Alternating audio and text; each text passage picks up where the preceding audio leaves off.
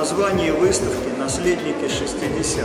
В основном здесь как представлены художники, которые начали свой путь в творчестве в конце 70-х, 80-е годы, и которые как бы застали вот тех художников, э, шестидесятников. Вот многие говорят, почему-то связывают, что шестидесятники это обязательно суровый стиль. На самом деле это не так.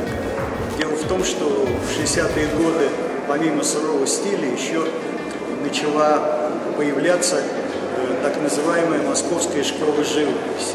Это э, какие-то ну, продолжатели, может быть, Кончаловского, Лентулова, Машкова.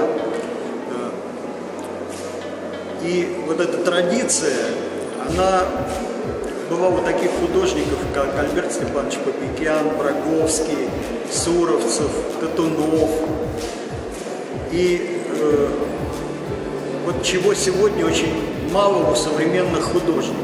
Это что, того, что живопись должна быть построена на цвете. Ну, сказать, что мне это удалось на 100% на этой выставке, наверное, нет. Но все-таки здесь собраны как бы художники, которые дружат, понимают друг друга. Это, в общем, соподвижники, я бы так назвал.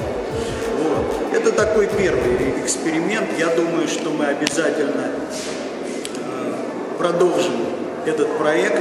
Будут другие группы, которые э, сделают тоже, наверное, свою такую групповую выставку. Надеюсь, что это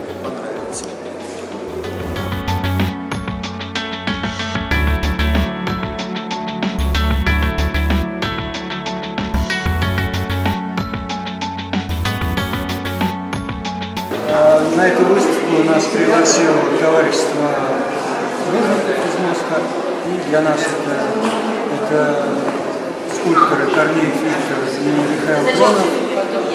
Большая честь, потому что тут э, очень хорошие художники собраны. На этом фоне выставятся просторные большие залы с, хорошей историей. Все это приятно и интересно.